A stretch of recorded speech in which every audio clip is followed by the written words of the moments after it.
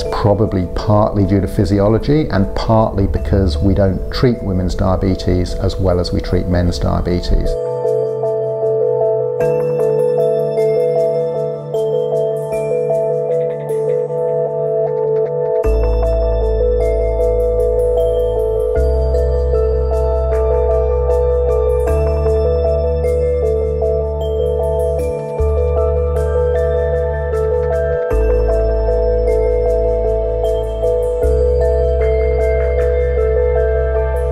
Tend uh, in the past to have sort of lumped men and women in together.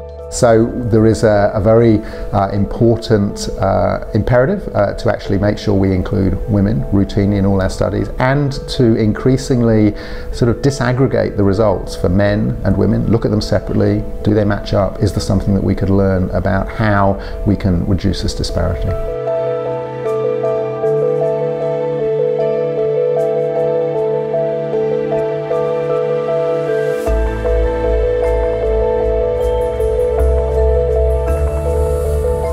The Australian Academy of Science.